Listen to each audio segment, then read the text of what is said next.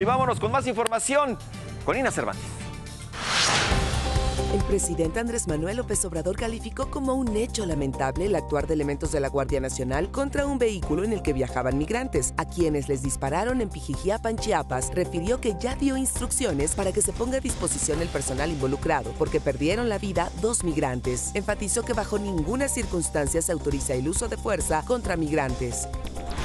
Al anunciar el arranque de la segunda etapa de la reforma laboral, la secretaria del Trabajo, Luisa María Alcalde, afirmó que se está erradicando los interminables juicios, la chicana, el coyotaje y los vicios que buscaban desgastar a las partes. Indicó que hubo resistencias para la aplicación de la reforma, que prevé desde elecciones en sindicatos hasta regular la subcontratación o outsourcing.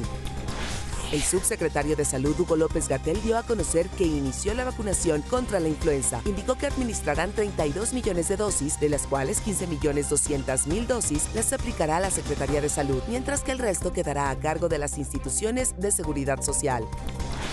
La Organización Panamericana de la Salud señaló que las infecciones y muertes por COVID-19 bajaron por octava semana consecutiva en el continente americano. Advirtió que un alto porcentaje de los casos hospitalizados actualmente corresponde a personas no vacunadas. Indicó que 46% de la población en el continente ha recibido el esquema completo de vacunación.